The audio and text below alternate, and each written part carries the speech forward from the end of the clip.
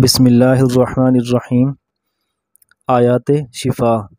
बरए शिफा अज़ हर मर्ज़ खसूस बुखार। पहली आयत सूरत तौबा की।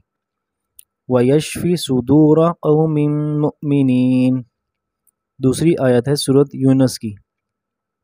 वशिफ़ा लिमा फ़िस्सदूर अब तीसरी जो आयत है, वो हम पढ़ेंगे वो है सूरत नहल की।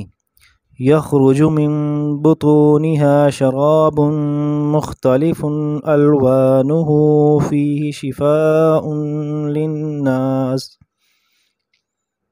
इसी तरह जो चौथी आयत है, वो है बनी इसराइल की।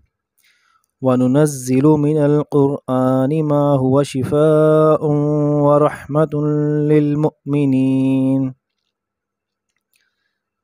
इसी तरह अब हम पाँचवीं आयत पढ़ेंगे। पाँचवीं आयत जो है, वो है सूरतुश्शुरा व इज़ा मरीज़तु फ़हुव यशफ़ीन।